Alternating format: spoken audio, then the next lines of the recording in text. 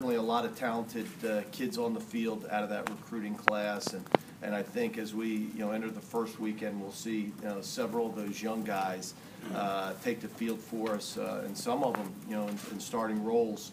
Uh, I think uh, you know position player wise, or uh, there's a chance that maybe two or three, or maybe even possibly four freshmen starting in the in the starting lineup over the first first weekend.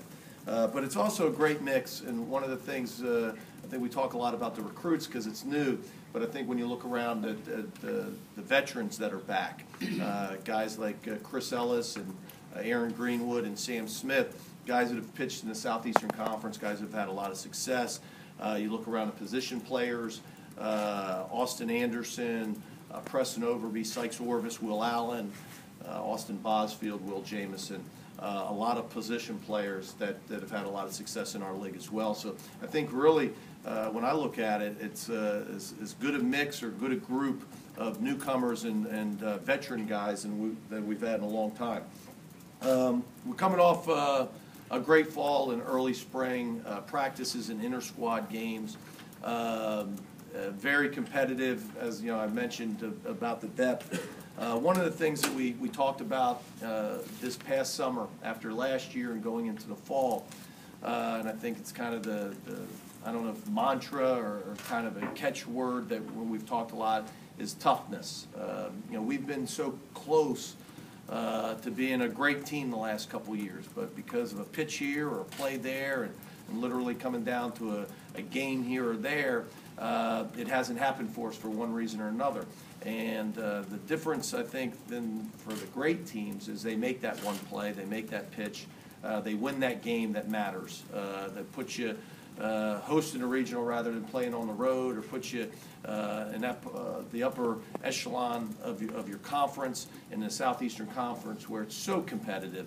one game out of 30 you know, means means a lot and means a big deal uh, where you are in the standings and where you are as far as RPI and whatnot. So how do we how do we win that game? How do we make sure that we're on the right side of the scoreboard?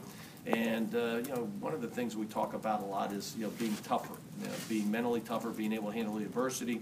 Uh, not to talk too much about last year's team, but you know, last year's team got off to just a, an unbelievable start at 21 and three, uh, and then some things didn't go that our way, and lost a couple close series, and next thing you know, it was hard for us to get back on track again. Uh, we had some good games, but it was hard for us really to gain that confidence back and uh, be the team that we once were. And uh, and so we talked a lot about that as a staff. And so, how do we get that toughness? How do we how are we able to handle the adversity uh, that that is given to you every day? And everybody gets it in this game of baseball. How, how are you able to handle it? And one of the things we talked about is just being physically tough. Uh, you know, if you if you're more physically tough, then you know, mentally you're going to be able to handle some more things. And so, uh, kind of went back to old school. Kind of went back to some of the things we did uh, 13 years ago when I got here, and just to push and challenge the kids. Of course, the competition at each position, the depth, you know, helped a lot with that.